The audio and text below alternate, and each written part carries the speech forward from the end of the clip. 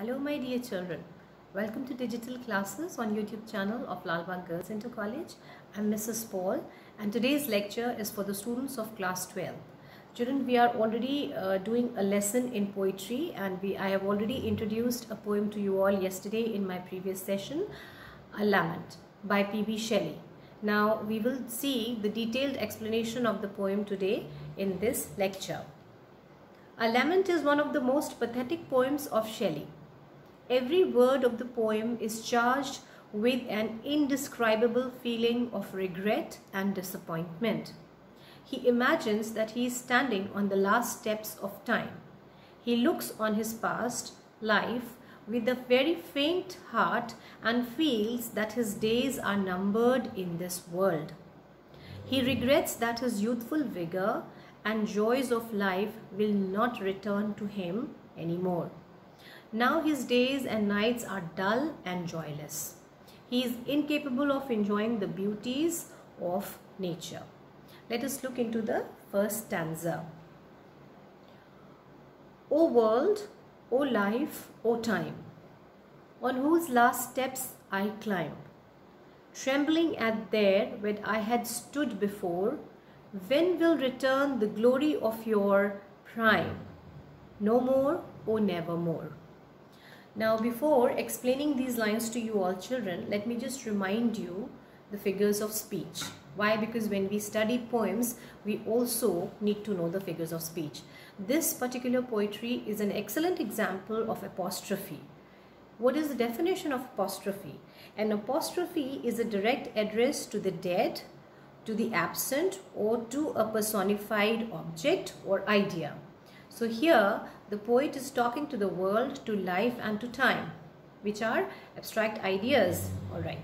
So he says, O world, O life, O time, on whose last steps I climb. He considers his life to be a ladder and he is standing on the last step of it, trembling. Trembling means shuddering or shivering at that where I had stood before. Earlier he enjoyed his life but now he feels that he can never be happy in his life. When will return the glory of your prime? This is one of the most pathetic poems written by Shelley. He has realized that he would not live long and his life was to be end, ended very soon. He compares his helplessness in the present to his bravery and courage in the past with which he had fought against the troubles and difficulties boldly. The first line of this opening stanza is full of pathos because the poet feels that he has come to an end of his life and time in this world.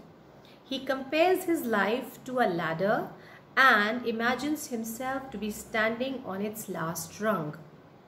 It appears that he had a premonition of his approaching death because he died only a year after he wrote this poem. The poet had fought the troubles and difficulties very bravely in the past, but now he is trembling with fear at the thought of them. He is so much disappointed that he regrets his youthful vigor and joys of life which will not return to him anymore.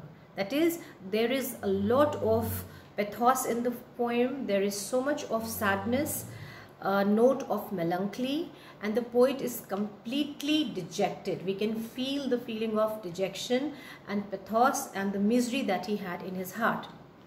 As a part of common children you can write, the poem is remarkable for the way in which the poet has expressed his pathos, his pity and pain. Of course his disappointment too.